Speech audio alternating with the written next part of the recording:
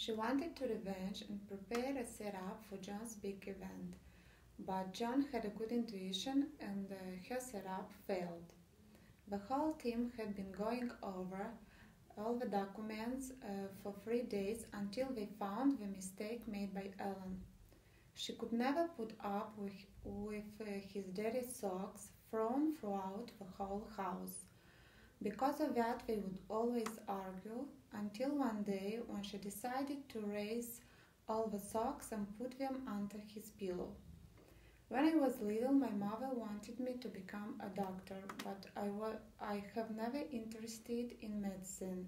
I haven't been. I have never been interested in medicine. After 10 hours flight, Alan, Alan Ah. needs a little sleep and he will be as right as rain. He must be in a good shape to go in front of the audience to present his new book.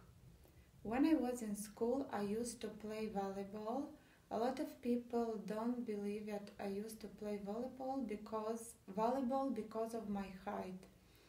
But I did play vo- volleyball and uh, I was uh, one of the best in my team. In front of the audience. Uh uh Front audience.